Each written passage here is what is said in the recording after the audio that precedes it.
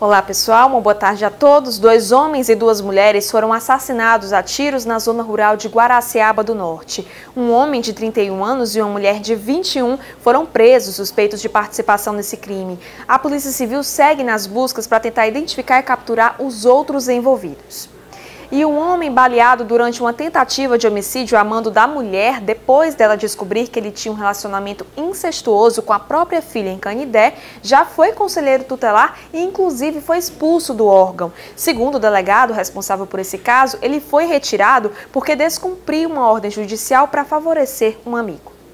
E a instabilidade nas redes sociais WhatsApp, Instagram e também Facebook gerou aí uma série de prejuízos para lojas virtuais aqui de Fortaleza. Entre os principais problemas relatados estão a falta de acesso às páginas das lojas e também na falha do envio de mensagens. Para você saber tudo por real, é só acessar o nosso portal g1.com.br/ce. Até mais.